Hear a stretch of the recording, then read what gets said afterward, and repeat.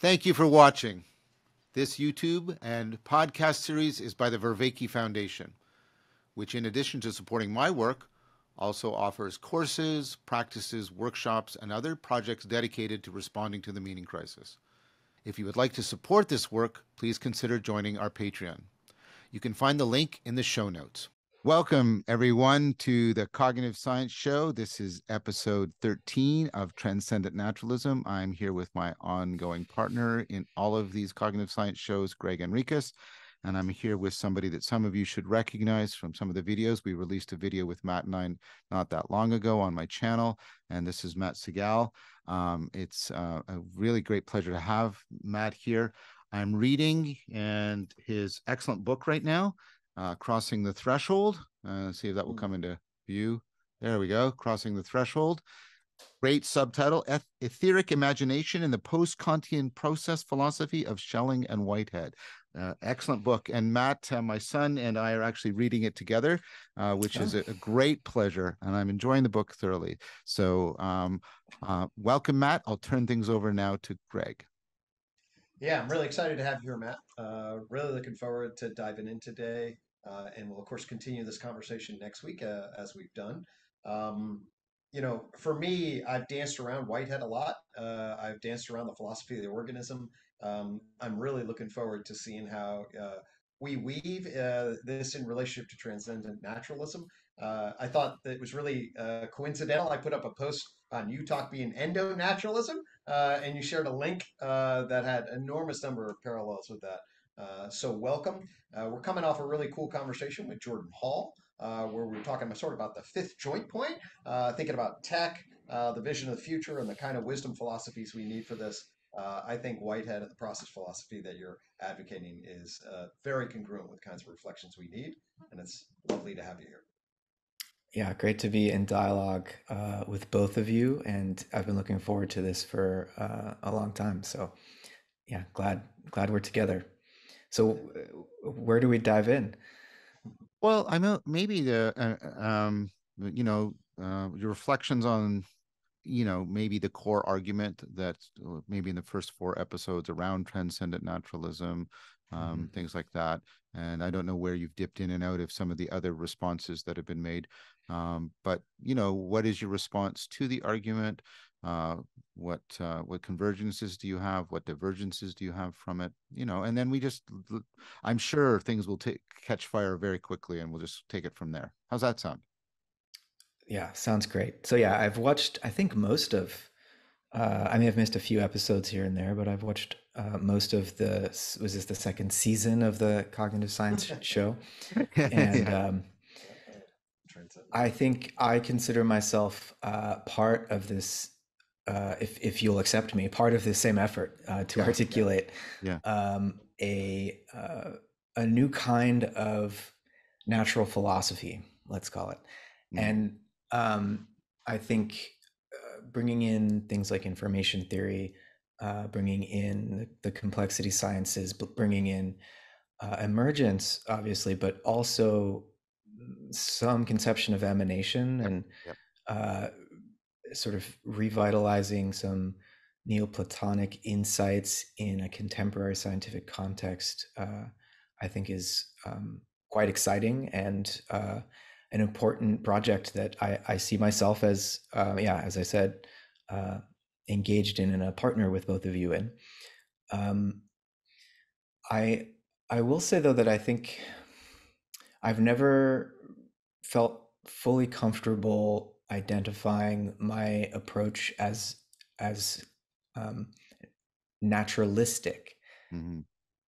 And that's not because I want to make reference to something something supernatural, um, but typically naturalism. I mean, we could define it as a methodology. We could define it as a metaphysics, and you know maybe we can get into the difference there. But either way, it it as either the method or the metaphysics, the ontology, um, either both of the, the, the, ways in which they have been defined um, in the context of modern Western science, I think has prevented us from affirming something like formal causality or final causality, prevented us from taking more than just um, some narrow construal of the five senses um, as granting us access to to a, a real world. I think so. There's a limited form of empiricism that's been built into um, the method of of doing natural science, uh, and and a sense in which naturalism would entail a kind of um, global mechanistic explanation. Um, and so, on those construals of what naturalism means, I have felt a bit suffocated and and unable to fully um, adopt the label. Now, I think transcendent naturalism is trying to bring in some of these things that mm-hmm. uh, traditionally naturalism has um, forbid or or relegated to the supernatural, um, or said that oh well that's really just part of human consciousness and that's kind of this anomalous peripheral thing. We don't quite know how it emerged, but we mm-hmm. don't need to talk about um, subjectivity. We don't need to talk about teleology until this weird consciousness thing emerges. Everything else we can explain naturalistically. And I think, you know, whether it's UTOK or uh, this sort of Neoplatonic retrieval, um, I think that kind of naturalism I, I have more time for. And so then it just becomes a question of the rhetoric, I guess, or the um, the way that we start to bridge with the broader cultural conversation about the yeah. meaning of life and the place of the human being in the universe, um, there's a certain kind of fundamentalist religion um, and a certain kind of new age narcissism that we, I think, I would also want to resist, mm-hmm. um, which is why sometimes referring to naturalism and really trying to maintain um, scientific rigor that that can be really important, not just as a rhetorical move, but as a methodological move. Um, but I also think that, um, and I don't necessarily think either of you disagree with this, but I think there is something of tremendous value that needs to be inherited from the world religions. Um, that we can't just rebuild from scratch or something in a more rational or scientific way. Like that, that just isn't going to happen.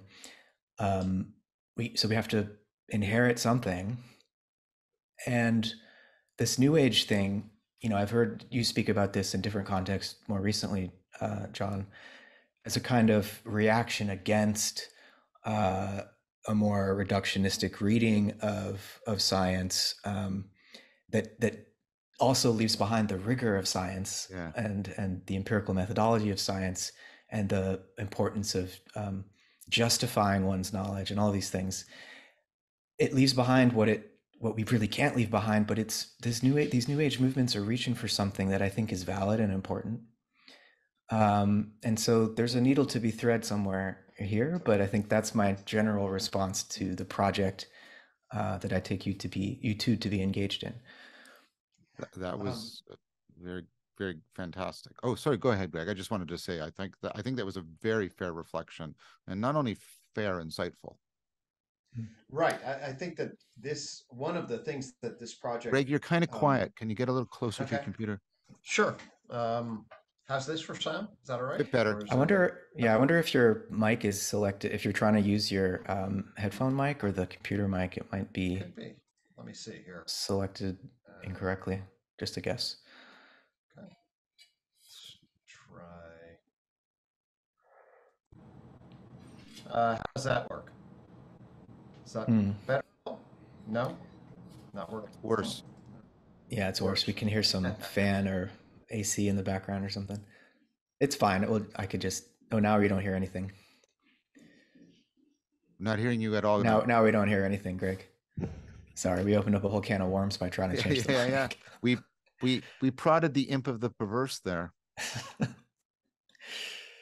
well, while uh, Gregg is solving that out, maybe I'll I'll yeah, say yeah, something. Yeah. Um, so, so uh, uh, Matt, I think that was very uh, uh, uh, charitable. I, I'd, I'd like to perhaps uh, um, start on one of the places that I think does need more discussion. Um, um, and this is particularly, like you said, what is the relationship of inheritance from the legacy religions? Because I, I, agree with you, this is not rejection. This is not repudiation. This is not refutation. That's not what transcendent naturalism is doing. And um, I, I, I, think I know Gregg agrees with me about this.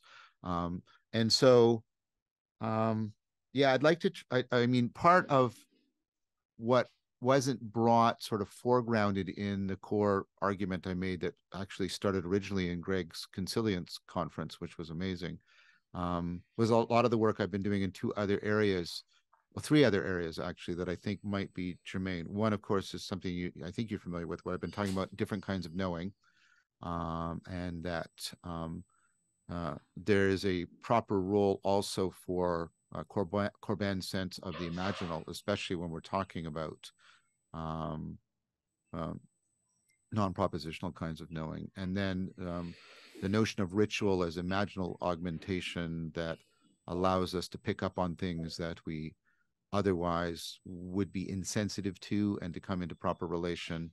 And that what we're doing with the non propositional kinds of knowing can be i think fairly justifiably um, argued to be you know processes of overcoming attentional and affective self-deception and identity formation and the, the enhancement of connectedness that fall under the name wisdom and overlap with meaning in life. Um, and that if we have this language of wisdom and meaning cultivation and uh, the imaginal and ritual, um, and they can be uh, properly explained, not explained away, but explained within sort of a four E cog sci framework. I wonder if, if that, and I think that is all very consistent with the argument of transcendent naturalism. Um, I suppose what I'm saying is I'm proposing to you that that's my answer of what we can get um, from the legacy religions. And the reason why I sort of stop there is because I, I bump up into the pluralism argument um, about the, you know, the, the vast differences. Um, this is why I'm against a sort of easy Huxleyan kind of perennialism. Um, even though Huxley doesn't really have that. If you read uh, the perennial philosophy, he has a much more cautious thing going on. But nevertheless, uh, you know, I uh, I find that I find the pluralism argument argument very powerful, very persuasive, um, and that you have to drop below the level of uh, propositions to get uh, convergence, and also to get enough universal phenomena that you can get a scientific purchase on them. And so, I would argue. Uh, I'm, I'm going to make a little bit stronger argument because I I know you're definitely up to it. So that's not that's not a concern on my part. Um, which is, I'm making a, a, stronger argument that I think that's all we can get from them um, because of the pluralism and because of you know you if you're going to get some sort of comprehensive ontological grasp on there there has to be important invariance across time and culture etc um, and so that's what I would say, and I, and I would say one of the advantages of transcendent naturalism, especially with the notion of strong transcendence, is it gives real teeth and depth to the cultivation of wisdom, uh, the cultivation of character, the realization of meaning, etc. Um, now, I'm, I'm I, um, and one more point, and I don't want to put Gregg at a disadvantage, but I mean, and I'm only I'm only about I think 50 pages into your beautiful book. Uh, by the way, it's really good, Matt. It's really good. Oh, thank uh, you, John. Like I like no, seriously, it's it's like it's really good. Um, I'm going through a big whitehead phase again, which I do. I dip in and dip out, and I'm going through a really big one. Um, but you all, you, uh, I guess I'm also inviting you to say if this notion of the imaginal, especially the way I've tried to enrich it beyond the way Corbin has discussed it, is it getting is it convergent or is it close or is it adjacent to what you mean by etheric imagination and the important role you place it for crossing over the subjective objective divide over the Kantian uh, guardianship, as you beautifully put it. Um, and so um, that's my initial response. But uh, uh I I did interrupt to give Gregg time to get his, right. His oh. Well, how does it how does this sound now? Does this uh is the mic great. okay now? Yeah, yeah, yeah, much better. Uh, I'll let that. Uh, i I have definitely lots to pick up on. Uh, let's let's let the flow go, uh, and uh, let's have Matt respond to that, and then we can come back to some of my comments about naturalism uh, and where uh, I see this, which of course will be very congruent. Yeah. Um, thanks, Gregg. So I'll, I'll briefly respond um, to say that I think what I mean by etheric imagination is quite similar to what Corbin is doing with the imaginal. I can't remember if I briefly cite him or not. Maybe I maybe I didn't in the in the book, but I'm aware of his work. and I think the key, of course, is to make a distinction between fantasy um, or the imaginary and the imaginal, because there's there's a ontological um, heft to this this. Mm, I don't want to call it a mere. It's not a mere concept. It's not just a percept either. It's that in between space Yeah. um, that I think has real um, ontological significance and can. And I think what what I would say my book is trying to argue for is that it has there's an epistemological um, method that needs to be developed that would allow us to be scientific about uh, imaginal perception, Mhm, uh, imaginal experience, let's say, um, because again, it's not quite perception, it's not quite conceptual. It's like where, where's the imagination in that? It's before that distinction. Mhm. Kant's pointing this out in his own way. Um, and so, yeah, I think there's a lot of consistency there. There's probably some differences because I'm not coming straight out of Corbin.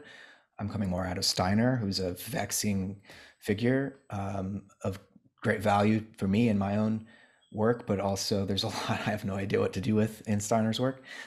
Um, so that's on the on the imagination question you raised. But in terms of um, ritual as what we can recover from the world religions, absolutely, uh, and and the non-propositional forms of knowing that ritual allows us to cultivate, where I think at their best, these ancient rituals, which in many cases, like what we call, uh, or what what the Catholic Church or um, Christianity has called uh, the Eucharist, um, Mass, etc., has much earlier roots. That that the ritual, um, the ur form of that ritual goes very very deep, right? And so if you put the world religions in that kind of evolutionary context, cultural evolution uh, in that context, there's a more overlap, but also plurality is essential. I, I would even maybe this is an even stronger argument for pluralism. Um, I think at this point, to do to touch religion at all, to be religious at all, has to be in the context of interreligious dialogue Oh, good. um, good. and not just between people who are committed to one faith. I would even say, um, as individuals, I think, given our access to this, uh, to, to the world religions, no, one's just born now in in in one little tribe or in one one little society or. Uh, and, and can just assume that theirs is the only religion. And how could anyone disagree? This is like the only game in town. Like, no, we're, none of us are in that situation anymore. And so I think there's there's a kind of responsibility that each of us has to ourselves become inter in, intra like internal to ourselves. We can hold multiple religious commitments, right? And so the, the the challenge of religious pluralism is something each person I think needs to work out psychologically, psychospiritually. Um, and not everyone is is at that place where they can engage in that way. But um, for those who do have a more who are raised in a in a context or or later in life find that they're called to a, a particular religious tradition. I think to do that authentically and uh, to do it responsibly, you need to be in in continual dialogue with those who have other faith commitments. Uh, and not just respect their right to have those faith commitments and to be different from you, but to be interested in that difference because it's going to reflect back on your own self understanding, right? So, only in this kind of a context, I think, can religion remain relevant without being uh, dangerous and actually holding us back. Um, but we need it. If we can engage it in this way, I think because of the way that ritual is a form of knowing that I think allows us to entrain with cosmic rhythms. We're not going to overcome this alienation by thinking more about it. Uh, there's an actual performance that I think the world religions uh, have have allowed us to cultivate generation to generation, and that that performance, those ritual performances that nobody quite understands, like why are we really doing this? It, doesn't matter if you don't understand why you're doing it because, like, it's it's the same reason that the sun is rising right and there's a confusion that can happen there when you understand the symbolism at work in ritual and you think that like oh well if we don't do the ritual the sun won't rise Mm. well no but you're you're when you're doing ritual you're participating in that in that you're entrained to that cosmic rhythm and so that sense that if i stop doing the ritual the sun actually won't rise it, it makes a little bit more sense like it's a it's a faulty uh, idea to, it, to assume that, but you're so entrained with that broader cosmic rhythm that you start to think that you are it. Right. Mm. And there's if we can if we can adopt that mode of of cognition, that way of knowing without making that mistake where you literalize it, um, then I think we can inherit the great value of yeah, these ritual practices. Um that's beautiful. Um, there's actually, uh, I've been, I had to get my thing fixed, but it's also the case that I've been percolating along uh, uh, with the rhythm of your conversation, um, and it, it's touching me. Um, there's a lot I want to say about naturalism, but I'll just be brief uh, in relation. Uh, so for me, actually, if you look at the definition, it's a vague definition. Um, I like that in philosophy. Um, it basically is the sort of one world commitment at its essence. Um, but what I want to argue very clearly is that it's not committed to a reductive mechanistic worldview. Like naturalism doesn't commit that. Although many people think that it does, uh, to me, that's materialism. And actually, that's an outdated term even than physicalism. Um, I want to replace both materialism and physicalism with naturalism. Um, and this comes to me from my work in UTOK and the concept of behavior. Um, and the idea really that what natural science commits to epistemologically, ontologically, metaphysically is behavior, which of course is going to uh, enter into a process philosophy view much more readily. Uh, but many people confuse, and indeed John Watson is uh, guilty of this, uh, starting behaviorism, at least within psychology, and yoking it to a reductive sensory reflex mechanism. Uh, but that's not necessary. In fact, B.F. Skinner splits that off. Um, if you know the history of behaviorism, and he's a molar behaviorist, not a molecular behaviorist. Um, and he then talks about the behavior of persons.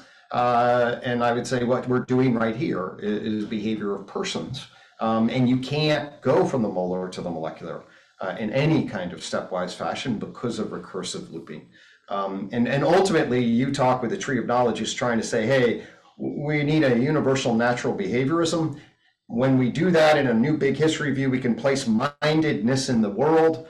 When you place mindedness in the world as a sensory motor loop coming off of organisms, uh, and then us as cultured persons off of that, you get a totally different metaphysical vibe, you know. Um, and and that metaphysical vibe is much more consistent with modern science and it lets go of the reductive mechanical aspects of naturalism uh, and gives us a universal across the ontological layers and actually corresponding with our scientific epistemology is my argument. Um, so, so for me, I talk about UTOK as an endo-natural view. What I mean by that is I want to look inside of naturalism and fix it. it's broken. You know, uh, the Enlightenment didn't place us in right relationship to matter and mind. It gave us the Enlightenment gap. Um, we don't have a coherent philosophy that places subject, object, matter, and mind in right relation. We can, uh, we can now. Um, and and and with focus on naturalism, you know, I, I want to respect uh, the the edges of that, where parapsychology, aliens, all the stuff that would be sort of like is fascinating. I'm agnostic, but I want to get naturalism, focus in on correct, and out of exactly the kind of uh, limiting metaphysics uh, and this idea that there's a mind totally separate that can then write formulas and then but don't has to be does not need to be reincorporated uh, into the ontological picture. So that i'll say about naturalism. Then very briefly let me just add and then i'll hush up because uh, i could have too much fun with this.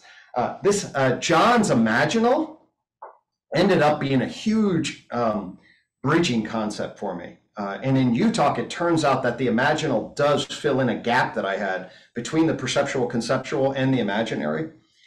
And, and, and it yokes that stuff together in a way that um, what you just talked about makes me want to. I will click on and order your book. I don't, I haven't started that. I'm super excited uh, about that. And the last thing I'll say about religions is, you know, I created this iconic um, imagery for UTOK, this garden. Uh, and the ultimate icon of the garden is this elephant sun god. Okay, uh, the the sun god is from Ra in the Bronze Age. Uh, the elephant is from Ganesha uh, into the Axial Age. It rises over the garden, and inside of it is an elephant that comes together, blind men and the elephant, which is also a connection of modern science and looking, and then ultimately a meta modern view of a holism, a coherent integrated holism. So when you're speaking about the intra interpersonal religious pluralism. Um, that, that, beautifully resonates with my sentiment for how we would rediscover uh, the place of religion uh, going forward. So all of those things were remarkably resonant, and I just uh, appreciated so much of what you were, um, and then given the opportunity to rip off of it. Mm. Yeah, lovely thoughts there. Um, let me, I'll respond briefly to that. Uh, so I think the one world emphasis um, I'm I'm down with. I think, uh,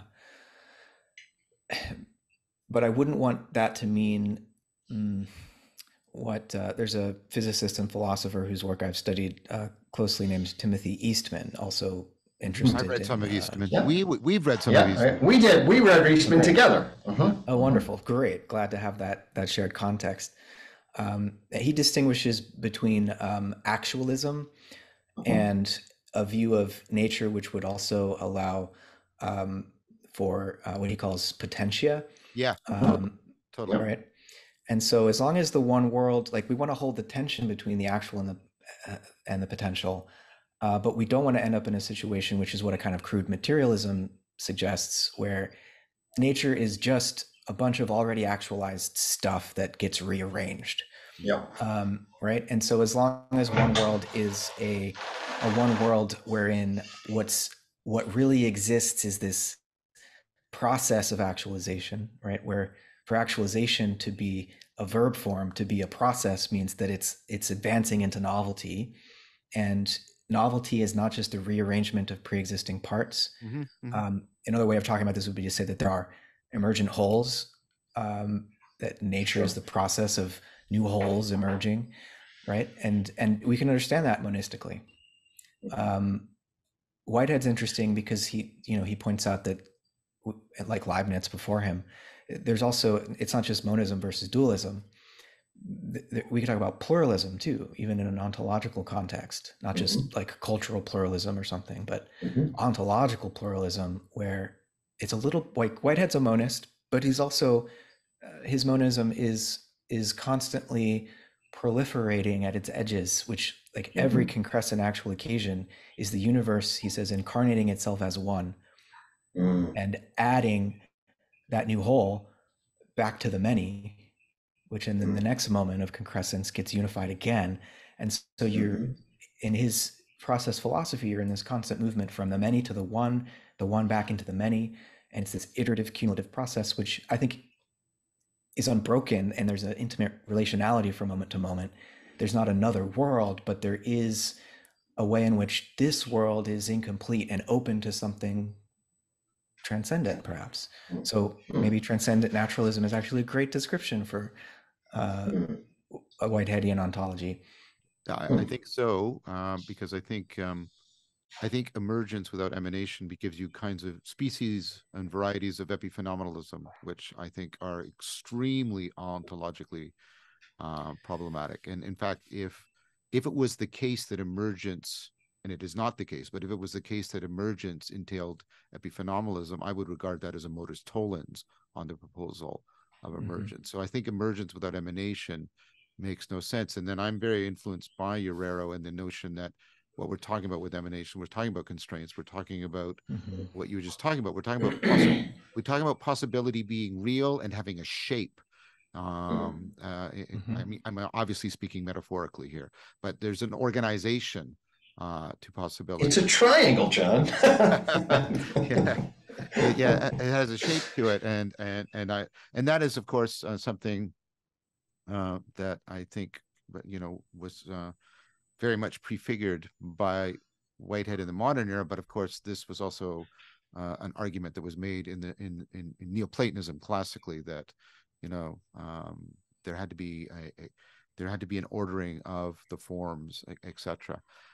Um, I wanted to say one thing about uh, the imaginal before we completely lose the thread and then tie it back into what we've been just talking about, which is this notion of emergence, emanation, and reality realization or reality actualization. I think re- realization is actually a better term because it doesn't pin us to actuality, um, right? And it, and it carries that note of having an epistemic dimension possible within it.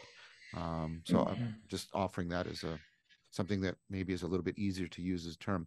I just want to go back and about the imaginal. So Dan Chiappe and I have written a bunch of papers, three about the NASA soldier, uh, soldiers, NASA scientists moving the rovers around on Mars, and they do all of these weird, very imaginal things because what they're actually after in order to before anybody can do the science they have to get to, to, the state where they can be the rover on mars they can get that perspectival seeing as the rover and as if both seeing as if you were the rover on mars and as if you were the mm-hmm. rover not a human being on mars mm-hmm. and they do all these very interesting things very naturally um, they'll do things like, first of all, they uh, they will anthropomorphize the rover, which seems sort of intuitive to us. Like I, I need to move my arm there, and I got to bring my eyes over there. And they're talking about the right the cameras and stuff. But they'll do also the other thing. They'll uh, Vertesi, one of the ethnographers, talks about they'll technomorphize themselves they'll, they'll like this is a rock and i and i need to and and what they'll do is they'll swivel around on the chair as if they're the rover and twisting their body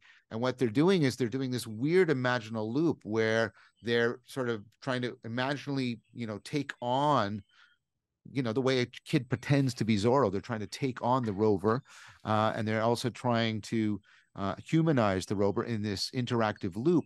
And then why i'm saying that matt is you get that kind of thing you were you you were you were pointing to where about the entrained with the sunrise because we have direct quotes. I, I, can't do it verbatim but there were uh, two or three along the lines of the one of these you know literal rocket scientists hard-nosed engineers saying you know i was in the garden and i was i was gardening and my right wrist kept getting sort of stuck and i came into the lab and spirit ironically the name of one of the rovers and the spirit its right wheel kept getting stuck that day. You know i don't think there's any magic but you know there's something going on. There's some kind of sympathetic connection and they're trying to articulate exactly um, i think what you were putting your finger on they don't want to say that there's a direct causal relation, but they want to say it's not just a metaphor. There's some kind of bonding going on there that and they, and what they're bumping up again and why they laugh is they they end up using words they don't want to use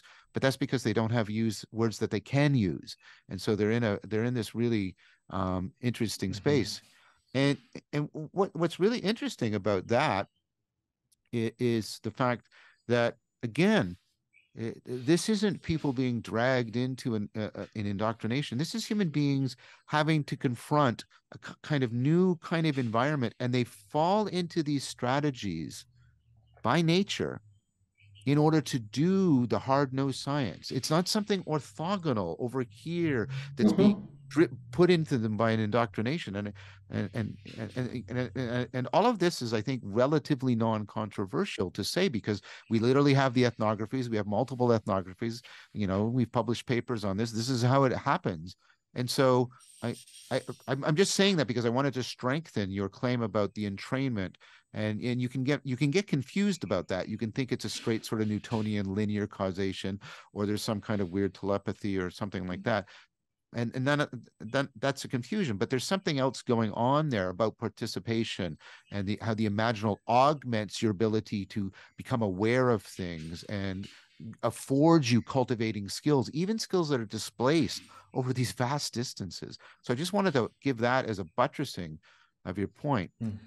but yeah. then to the religious point so the thing that comes up for me is and i forget who i'm reading uh, uh, and he was basically making the argument. Um, I think it's called Introduction to Process Relational uh, Philosophy. Oh, Robert Mesle. Mesle, yes, mm-hmm. thank you. He was making mm-hmm. the point, and and this is one of the things I want to probe on.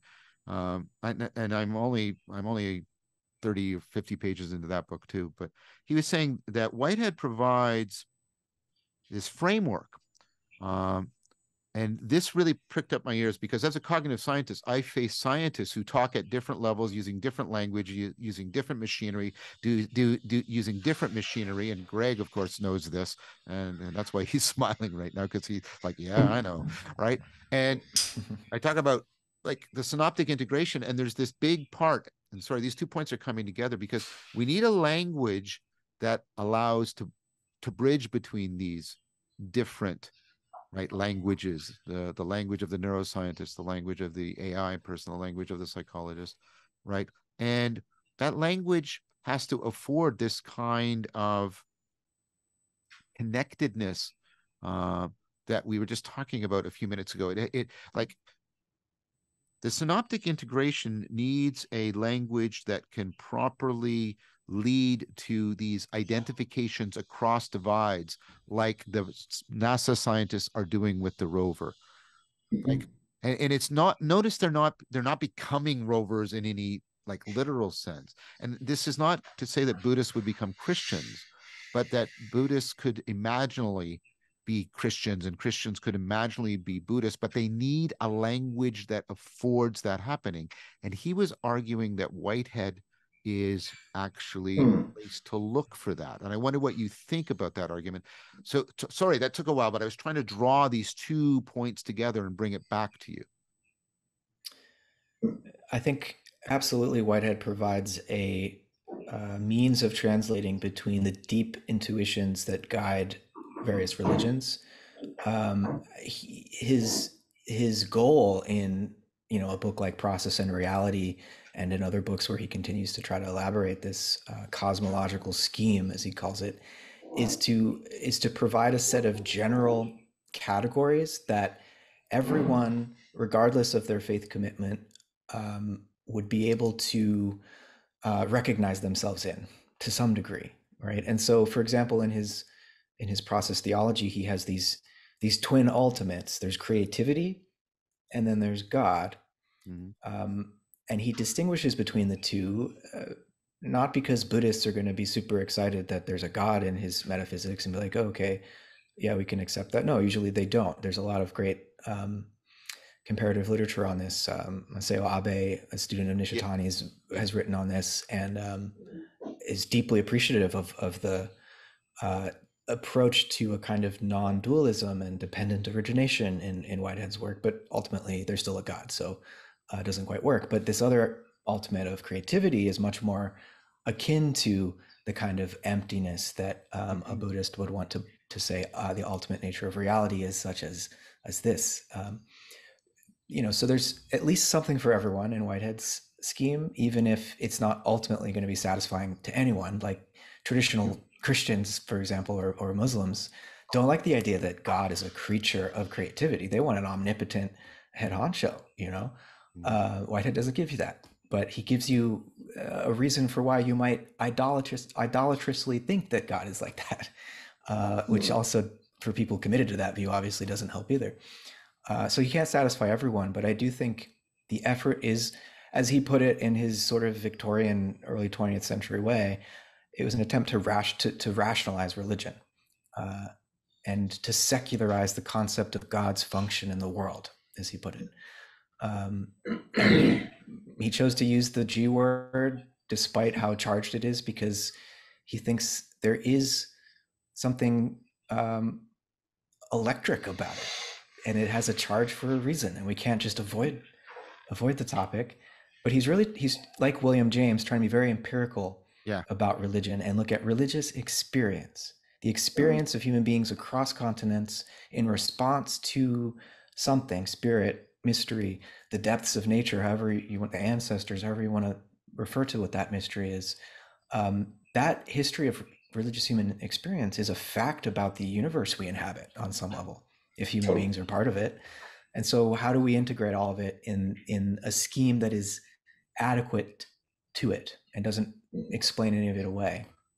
So that would Matt, be what Whitehead's trying to do. Yeah, I think that's good, but the and and thank you for that. I think that's very good. Um, but what what I what what what I'm all what I'm also seeing, and I mean I've seen it before, but I'm seeing it again. Um, um, that that scheme isn't just processed in sort of argument, uh, you know, uh, sort of premise by premise mm-hmm. argumentation. I'm not saying uh, Whitehead doesn't make arguments; he makes very careful arguments. But Whitehead also admits that there is this imaginative leap but it's not the imaginary. There's an imaginal. There's something going on here in which mm-hmm. and this is what this is what i'm i'm I'm, I'm sort of asking you to tease out a little bit. There's there's the imagination is somehow sensitizing us uh, to things that we can't get just by sort of the incremental progression of an argument. And in that sense, it's mm-hmm. not imaginary, it's imaginal. It's affording a kind of knowing. Um, and that seems to also be some, somehow crucial to the scheme. Uh, it, it, first of all, is that a fair thing to say about Whitehead? And um... yeah, I mean, so let's let's distinguish traditional naturalism from transcendent naturalism, where traditional naturalism would say, look, we've got five senses and right. we can make precise measurements through especially the eyes and we've got logic and math. And so let's combine the two and get the truth about nature. And Whitehead's saying that picture of what the human cognitive apparatus is is is, is woefully inadequate and incomplete. Mm-hmm. Um, we're more than just the five senses and the brain, uh, to, to, to speak loosely, right? We have um, our whole bodies are involved in the way that we know, as, as you were describing earlier. And imagination, I think, is um, is a you know Whitehead's a he's coming out of the natural sciences and mathematics, mm-hmm. um, but also romantic poetry, mm-hmm, mm-hmm. and so imagination for Whitehead is holy. It is the base of um, of our experience and and in some sense the the font of our existence right mm-hmm. in, in in a in a mystical uh, way and i'm i'm speaking poetically here obviously but i think uh, the romantics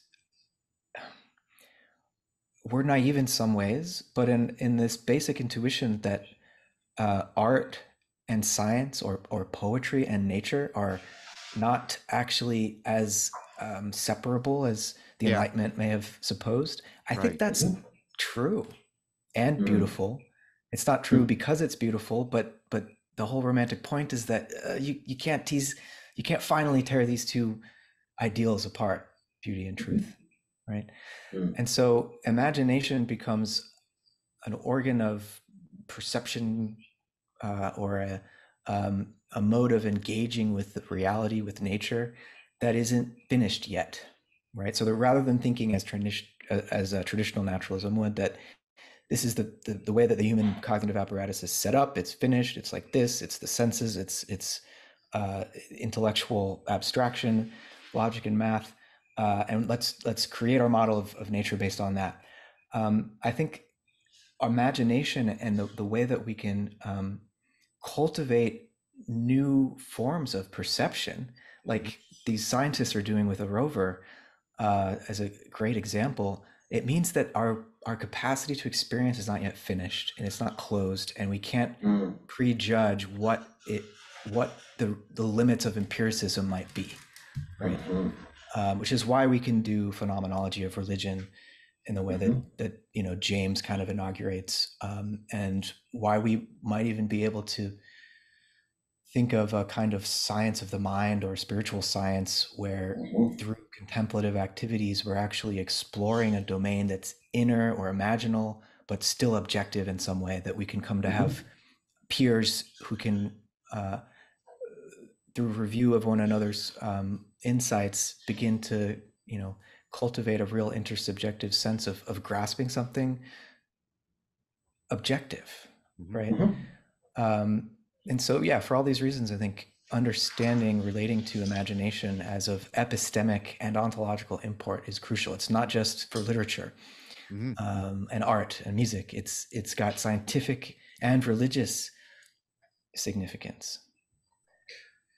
I think that one of the things I really like the way you articulated uh, tr- the traditional versus transcendent naturalism there, uh, and I think we should uh, put a footnote in it. No pun intended. Um, uh, but uh, to, to, to, you know, John, me and I come back or whatever. Um, I, I, I was, I, don't remember if you remember this, John, but at some point we were talking, and uh, as our systems were syncing up, uh, we, it went from 4P3R to 6P4R, where the other two Ps are a primate, which then held your perspectival, participatory, and procedural knowing, and a person holding your propositional knowing. And then 4R, so you get the recursive uh, relevance realization in relation, which then places people uh, in a dialogical into dialogos context. Um, so what I was then just as I was hearing is like, yeah, we are really upgrading this sensory logic, you know, logical, empirical, analytic view of what's going to deduce, uh, and building an onto epistemology of the knower and known, uh, and creating a context for that that didn't exist before, but now when it exists, a much richer picture, in many ways more Whiteheadian picture, or or Whitehead's a founder of this or uh, you know this moving in this direction. So I deeply appreciated that um, articulation and was resonating hmm. with it. Let me. Can I introduce a distinction here that might be helpful because I don't want to be misunderstood here. Um, mm-hmm. uh, I studied with uh, University of Central Florida when he was still a professor there, uh, Shaun Gallagher of course. Uh, yeah. He wrote a book that came out around that time when I was there called How, How the Body Shapes the Mind. Yep.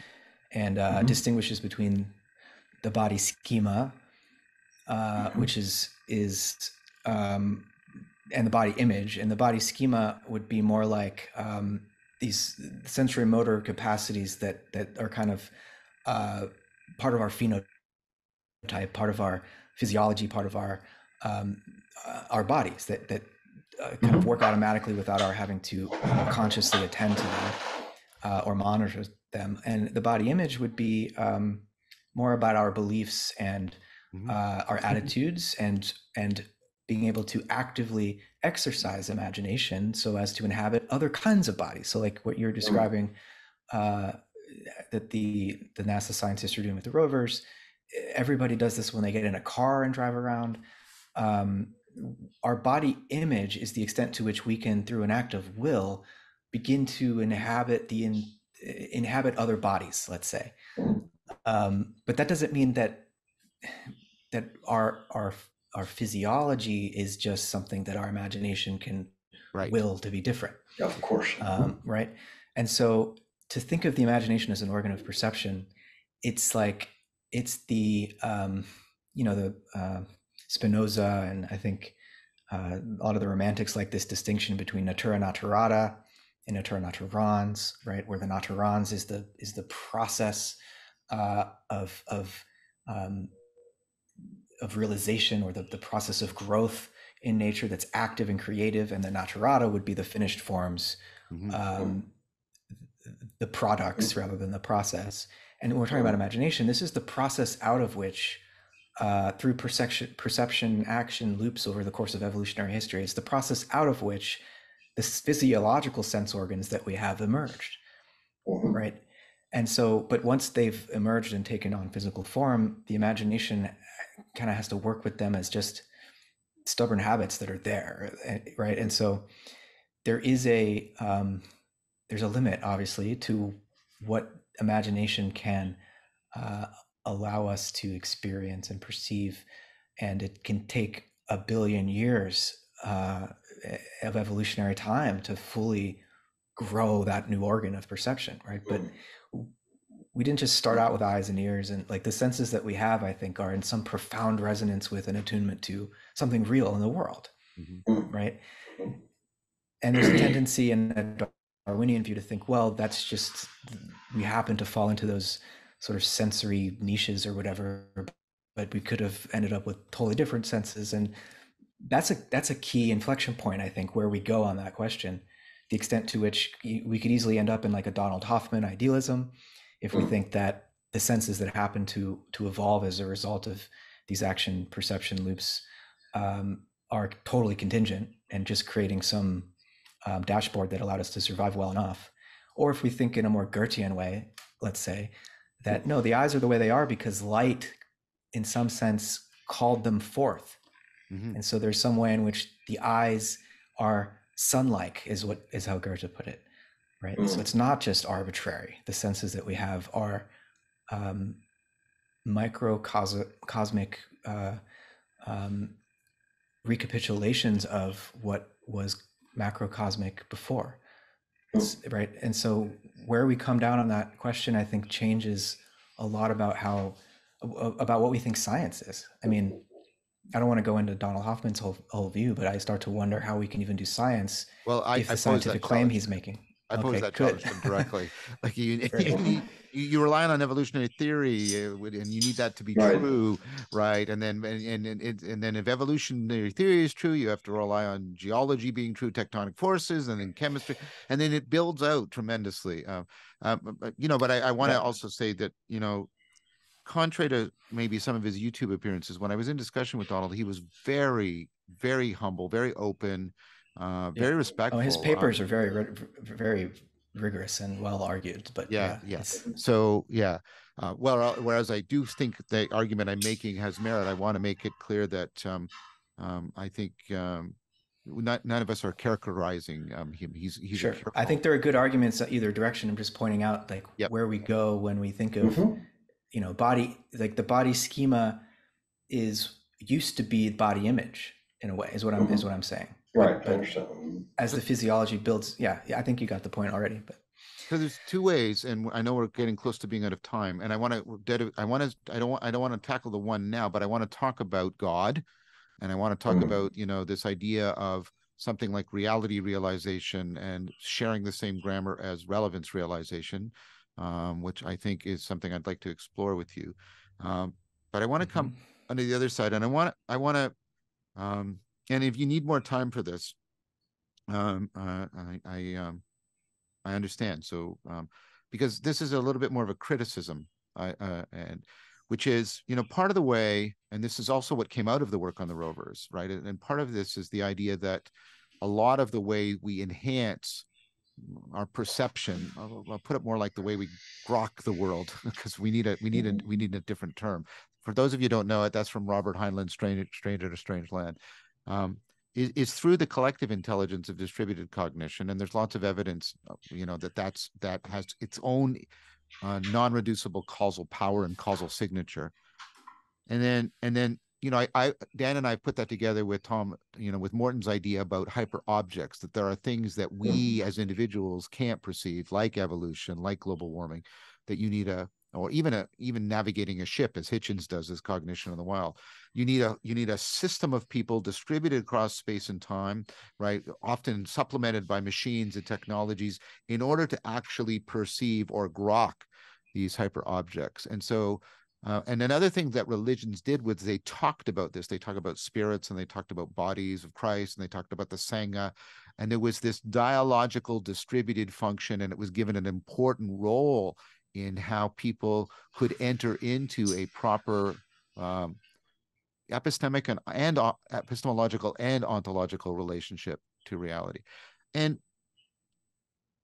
i'm I, i'm and you know absence is not the same thing as negation i get that but i'm i'm not i'm not seeing that that in whitehead i'm not seeing the Mhm. emphasis on the dialogical and the distributed on the spirits that you know to you to speak a little bit poetically that can inhabit uh distributed Mhm. cognition and uh, you know, you, you know, i do a, I teach a thing called dialectic into dialogos, and the logos sort of shows up, and if people naturally start, even dependent, they can come from the most secular background, they start talking about this, this collective intelligence, this collective flow, and the way it's disclosing themselves to each other and reality to all of them and to each of them, having a life of its own, um, and they start talking about it in religious language, and I don't think that's a coincidence, and so I think part of the way, and I think this is in, in a profound sense connected to everything we're talking about. It's it's ritual, it's imaginal, it's it's a way in which religions have pointed out how human beings can grok reality beyond their five senses.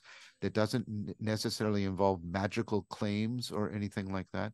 And for all of the brilliance of Whitehead, I don't I don't see that in in anything I've been I, I've read, but you've read a lot more than I have, uh, Matt, and I don't want to make an unfair criticism. I want to that's why I wanted to talk to you about it, and I wanted to say Mhm.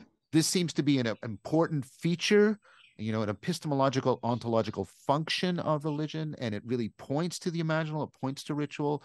It points to you know you know uh, you know grokking, prehending the world beyond the five senses in profound ways and it's integral to the practice of science we see it with the you know with the nasa scientists that's one of the things we talked about and so Mhm. i just wanted to hear what i want to give you an opportunity to like respond to that Yeah, I mean, uh, I would point you to Whitehead's uh, concept of societies and his mm. sense of the the the way in which it's it's through social relationships that um, experience becomes amplified and eventually conscious. Okay. Um, and so, yeah, it's like he says every every act of experience is a social effort employing the whole universe. I think is basically a, one of his lines. But and he'll also when he's talking about Plato's Timaeus, um, talk about Plato's understanding of uh, these subordinate deities who are the yeah. animating principles of different yeah. departments of nature, as Whitehead puts it. Uh, and and he's trying to capture something like this emergent agency of collectives and swarms um, with his notion of societies. Uh, so I, I, would I would say zoom in on that concept, and I think you'll get something closer to this idea of distributed cognition, and also in um, in his discussion of language in um, modes of thought and and other books, but in modes of thought in particular, he says something like um, that if the creation of the world could be rewritten, rewritten, we could say on the sixth day God gave them language and they became souls, human beings. Mm. And language, in, in in context, he had been discussing the history of language as a technology that allows for a kind of shared memory and shared cognition. Um, and first the you know oral language but then written language in particular allows us to so enhance um, our capacity for cultural memory. And so he's thinking in terms of eh, an extended mind or mm. uh, something like yeah distributed cognition. So i think it's there in his thought. Um, it, it's just uh, maybe it's not obvious immediately but it's something to do with how he thinks of societies. Um, of actual occasions. Uh, but you know, his jargon can be the, the, the, the price of admission to to his cosmos is high because you have to study and and uh, learn the, the categories and the lingo. Well, that's but, why I wanted know, to talk to you. I didn't want to make any yeah. claims based on ignorance, and I do. I have read some of this, and now that you've called it out, I hadn't grasped it under that aspect, and I hadn't made that connection, and I think that's powerful. Uh, because one of the things, and I don't know if you're going to come to this in your book, that I find, and you and I sort of bumped up against this last time we were talking, is there, you know, Locke's and Descartes' individualism seems to also mm. have been really accentuated by Kant. And I think this mm-hmm. was deeply problematic. And I think one of the things Hegel was trying to do was to deeply respond to that um, in, in, a powerful fashion. Mm-hmm. Um, and so, um, I guess I'm just happy to hear that then, because that that lends even more power to the proposal that Whitehead might have a way of talking about, I think, this important aspect of religion as a epistemological uh, engine and a transformational engine, because this topic this topic is coming to the fore right now, uh, because you know mm-hmm. social media has made egregores and um, collectivities um, prominent again, and many people, Jonathan Pageau and others, are are taking this up as saying, you know, and making use of my work, um, saying that this is this is we're, we're, we're talking about what the what ancient people talked about when they talked about spirits, and we, we and when, again we don't have to get into any kind of supernaturalism now to talk about them. Right, and I, I do need to run here, but I think a good place mm-hmm. a good place to end perhaps would be to say that you know the reason I haven't ever yet felt comfortable just referring to my approach as naturalistic or identifying with naturalism is because I would feel just as uncomfortable saying I'm a spiritualist. Right. Or that we should right. affirm spiritualism. But I do think spirit, in some sense, is just as real and important to talk about as nature. And we don't need to conceive of them as in two separate worlds or something. We need to think of think them together somehow. Yeah. yeah. But mm-hmm. but I think both of these words still have power and we need to include them in our conversation about the ultimate nature of reality. Okay, so let's let's pick up on that. And I'm going to let you go in a sec. Let's talk about spirits, and we'll talk about God next time. And but uh, hopefully, people are going to stick with us because we they realize we're not just sort of drifting into uh, woo here. We're we're really going to uh, wrestle with something profound. Um, and uh, I want to thank both of you and Gregg. Gregg, I'm just sort of rushing things a little for Matt. Matt, we always yeah. give the we always give the person. You're coming back for another episode. We always give the person the last word. Okay. Well, I think I just had it. Okay. All right. Okay. well, wonderful. All We'll pick this up Yeah. in a week then. Appreciate you both and uh, look forward to next week. Take good care. Amen. Bye bye. Take care.